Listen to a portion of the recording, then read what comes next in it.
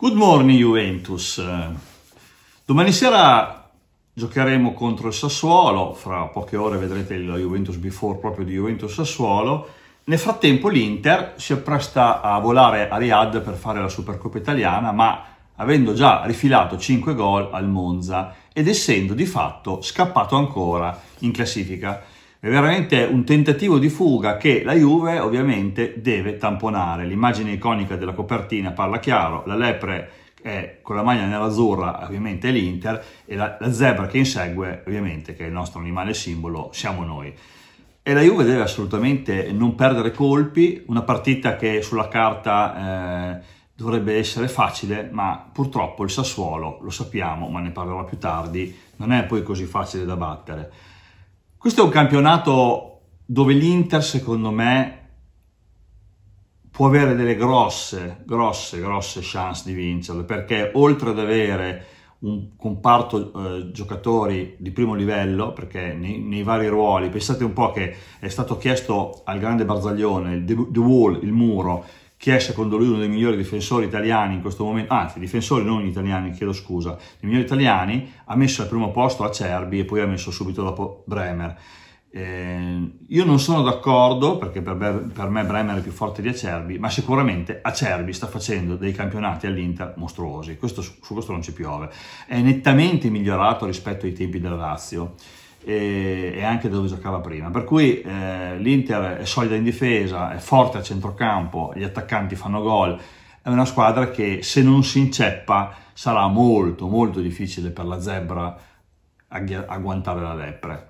Però, però eh, come si dice, no? Siamo in ballo, balliamo. Quindi dobbiamo assolutamente approfittare della partita di domani sera, augurandoci di andare a vincere a Lecce, dove ci vincono praticamente tutti, ehm, perché poi potenzialmente vincendo con Sassuolo e con Lecce la Juventus è virtualmente prima in classifica per lo scontro diretto. Ebbene sì, perché poi ci sarà un'altra partita in casa con l'Empoli dove la Juve non dovrebbe avere difficoltà a fare tre punti, l'Inter anch'essa farà sicuramente tre punti e quindi ci dovremmo presentare il 4 febbraio, da qui il video che ho fatto la settimana scorsa, eh, in, a, virtualmente avanti di un punto perché poi sapete che la partita dell'Inter eh, che deve recuperare ci sarà a metà febbraio.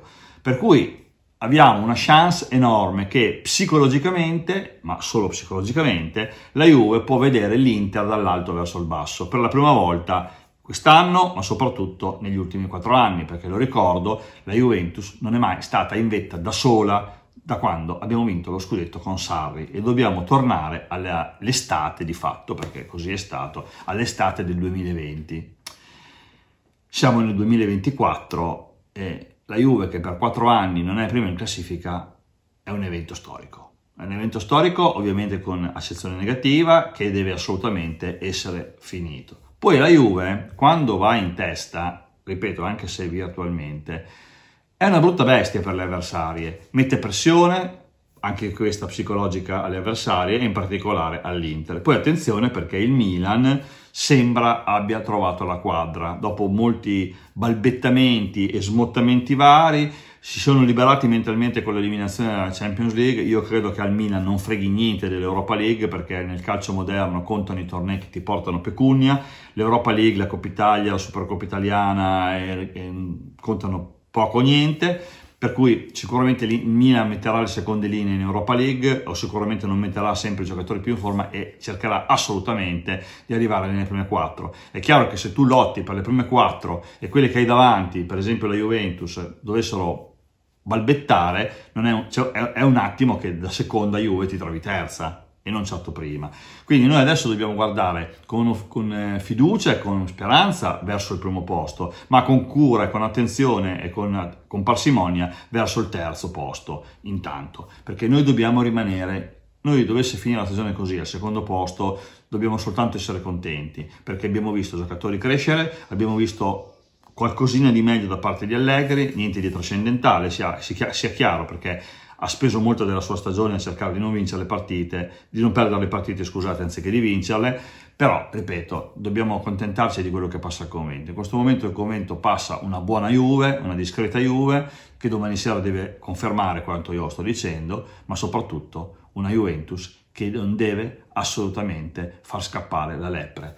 La zebra qui parla il naturalista da quando sono nato, la zebra è un animale molto veloce, ma la lepre non ha da meno e a differenza della zebra che va in, in, in, in linea retta, la, zeb, la, la, la, lepre zigzaga e saltella e non è facile da prendere. Quindi, signori e signori, è ufficialmente aperta la caccia alla lepre, ma non col fucile, caccia nel senso di corsa, perché io aborro la caccia, aborro tutto ecco, ciò che è violenza e altre cose del genere.